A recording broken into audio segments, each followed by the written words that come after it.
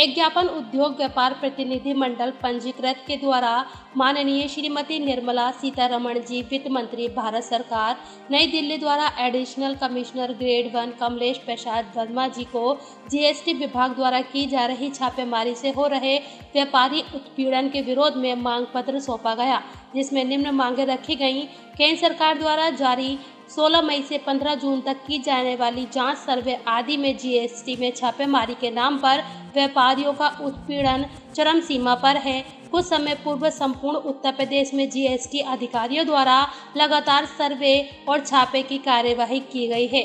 प्रत्येक महानगर व नगर में विभिन्न सेक्टरों के अधिकारियों एवं कर्मचारियों द्वारा व्यापारियों को फ़ोन कर जीएसटी जाँच के नाम पर धमकाकर अवैध वसूली की जा रही है। इस मौके पर जिला अध्यक्ष कमल कुमार सक्सेना, मनोज कुमार जैन, जिला महामंत्री पुष्कर सहगल, संगठन मंत्री मोहसिन आफ्ताब खान, रमन चावला, इम्तियाज़, मोहम्मद मकीम आदि लोग उपस्थित रहे।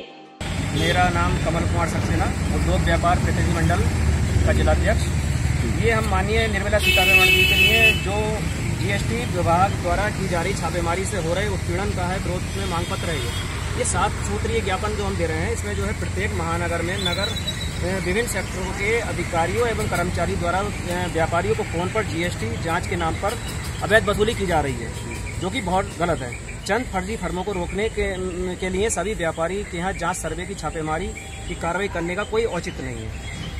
फर्जी बिलिंग व फर्जी व फर्जी बिलिंग व फर्जी आधार कार्ड अन्य कागज़ रजिस्ट्रेशन व कारोबारी करना विभाग की अधिकारी को मिली भगत के बगैर संभव नहीं है। संपूर्ण भारतवर्ष में हज़ारों की संख्या में सचल दस्ते काम कर रहे हैं जो कि छोटी छोटी टेक्निकल कमी, कमियों पर भी गाड़ियों को रोककर जुर्माने की कार्रवाई की जा रही है। जिससे यह स्पष्ट है फर्जी बिलिंग व बोगस फर्मों का विभागीय अधिकारी की मिली भगत के बिना चलना असंभव है।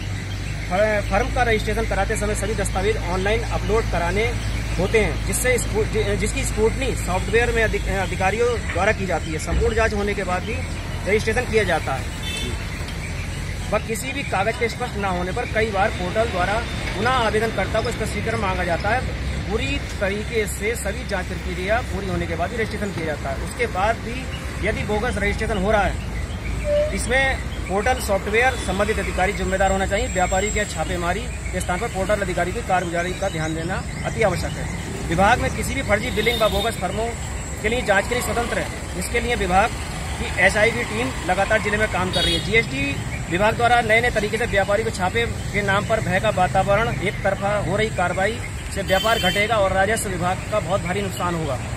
फर्जी बोगस फर्मों में पाए जाने वाले रजिस्ट्रेशन, जारी करने वाले अधिकारी के विरुद्ध जाँच कार्रवाई होनी चाहिए। माननीय से निवेदन है कि व्यापारियों के की जा रही छापे की कार्रवाई तुरंत रोक आदेश पारित करें। यही हमारा आपसे विनम्र निवेदन है। जय व्यापारी, जय व्यापार।